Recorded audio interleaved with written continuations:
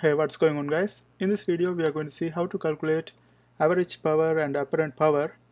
In this particular problem we have asked to find out the average power and the apparent power supplied to the load, average power and apparent power lost in the transmission line. This is our transmission line, this is our load and average power, average and apparent power supplied by the source. This is our source right here, okay? and also they are asking to find out the power factor of the source now let's go go through the order the first one is asking average power and the apparent power supplied to the load. In order to do this first we have to find out the current current here right? Now to find the current we are going to use the KVL if we apply KVL this is going to be negative 440 because this current is going negative to positive so that's going to be negative 440 and the angle is 0 since we don't have any angle provided. So this is 0 and then this is going through this 1.5 ohm resistor. So we are going to have one plus 1.5 I. And after that we have this 10 plus J2 times I. That's equal to 0 now we can add these two together right? This is going to become 11.5 plus J2I and if I move this one to the other side this is going to become plus 440 0 degree. Therefore I is going to be equivalent to 440 0 degree divided by 11.5 plus J2 okay?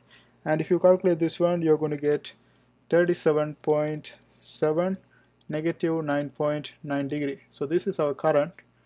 And then we had to find out the voltage of the load because first we are going to calculate average power and the apparent power supplied to the load. So we need the voltage of the load since we know the impedance here we can calculate because V is equal to IZ and we know the I here.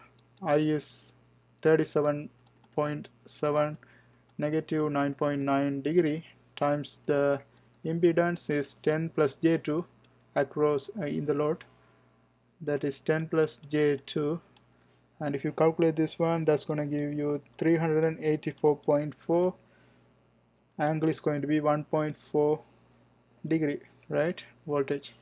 And this is going to be our voltage across the load. Let's put VL now to find the average power we had to use this equation. P is equal to V RMS I RMS cos theta V minus theta I okay?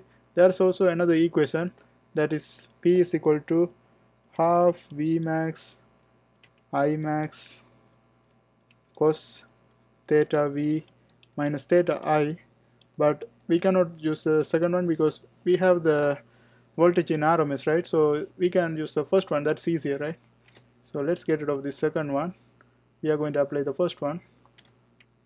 We know the VRMS that is 384.4 and then we know the IRMS that is 37.7 and then we are going to plug the angles cos theta v theta v is the angle of the voltage and the angle of the voltage here is 1.4 degree 1.4 degree and then the angle of the current is negative 9.9 but if you put minus this is going to be minus minus that's going to make this one plus you're going to have plus 9.9 degree okay? And if you calculate this one you're going to get 14,211 watts and if in kilowatts that's going to be just 14.2 kilowatts. Now this is the average power. Let's try this one with a different color. This is average power. Now to find the apparent power apparent power. So supply to the load right? Load. Now to find the apparent power we are going to use another equation that is apparent power is equivalent to Vrms times Irms okay? So we just multiply the first values. That's going to be 384.4 times 37.7 and that's going to give you 14,492 watts ampere because volts ampere because apparent power we always express in volt ampere and uh, average power always in watts okay? And then in kilowatts this is going to be 14.5 kilo volts ampere okay? So this is the average power and apparent power supplied to the load. Now we have done the first part. Now let's look at the second part. Second part is asking average power and the apparent power lost in the transmission line. Okay so let's get rid of this one because we don't need this one anymore. We are done with the first part. Let's do the second part right now. We need the current. We don't need the voltage across the load. Okay. Okay let's continue the second part. Second part is asking average power and the apparent power lost in the transmission line. Now here we have the current. In the transmission line let's see what's going to be the voltage. Voltage is equal to IZ in our case I is the same thing. That's going to be 37.7 negative 9.9 and then the impedance is going to be just 1.5 ohm. 1.5 and if you calculate this one you're going to get 4 okay this is going to be just 56.6 negative 9.9 degree. Okay this is our voltage.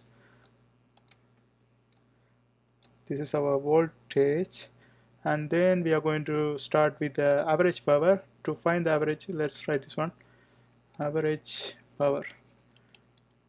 We are we are doing the second one right? Second one. Average power. The average power equation is given by Vrms times Irms cos theta V minus theta I okay now let's go ahead and plug the values. Vrms is this one.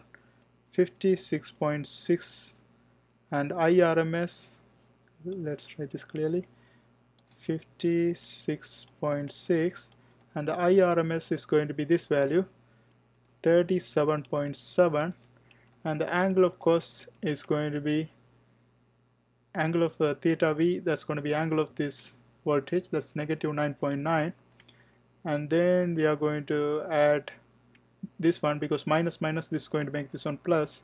So here we're going to have plus 9.9 okay? So this is going to give us cos 0 degree. Cos 0 is 1 so this is going to be just multiplication of these two. That's going to give us 2133.82 watts okay? And in kilowatts this is going to be just 2.133 kilowatts now we have found out the average power. Now to find the apparent power we are going to use a different equation that is going to be just VR, VRMS times IRMS okay? Apparent power apparent power that's going to be equivalent to VRMS times IRMS and that's going to be 56.6 times 37.7 here we are going to have the same value because here we had cos 0 degree. It means just 1 we just multiply this one by 1 it means it's going to be same value for this one too. If you calculate this one you're going to get 2133.82 this is going to be volt ampere. And in kilovolts ampere this is going to be 2.133 kilovolts ampere. Okay? So this is the upper average power and the apparent power lost in the transmission line. Now let's go to the source okay let's get rid of this part. Okay it's going to be the same equation.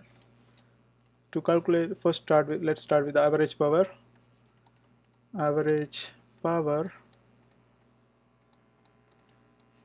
Okay, for average power we are going to use the equation VRMS we are done with this part. We are doing the third one. Okay VRMS times IRMS times cos theta V minus theta I. Now Vrms is the voltage of the source that's 440 and IRMS is this one 37.7 and the angle for the voltage is 0 since we don't have any angle provided this is going to be just 0 and the angle for the I is negative 9.9 so that's going to become minus minus that's going to become plus. So we are going to have plus 9.9 and if you calculate this one you're going to get this one is going to give you 16,341 watts okay? In kilowatts is going to be 16.34 kilowatts. Now we are not putting like if the question has mentioned like supplied if it's absorbed we have to put a negative in front okay? If it's supplied we don't have to put. That's why we are having positive value. Now let's go to the apparent power apparent power. To calculate apparent power we just have to use this equation that is Vrms times Irms and that's gonna be 440 times 37.7 and that's going to give us 16,588 volts ampere. Okay and in kilowatts we are go kilovolts ampere we are going to have 16.59 kilovolts ampere and uh, that's gonna be it. And let's do the last part. The last part is power factor of the source. Now let's get rid of these parts. Okay let's uh, get rid of this calculation okay. This is our i value now let's continue the last part here. Okay we are trying to find the power power factor. To find the power factor there are two different equations you can use. You can use cos theta v minus theta i or you can use upper, uh, average power over upper, upper, average power over apparent power okay? Average power over apparent power. So both of them are going to give you the same answer. You can just plug and see like cos theta v is 0 right? 0 minus minus that's going to become plus because we have the current negative 9.9 degree. So this is going to be minus minus that's going to make this one plus 9.9 .9 degree. And also you can try plugging these values. Here we have this uh, average power is equal to 16,341 divided by 16,588 and if you calculate these two you will get the same answer. You will get 0 0.985 0 0.985 for both of them you will get 0 0.985 okay? And that's gonna and lagging. And that's gonna be our final answer I hope this helps. Thanks for watching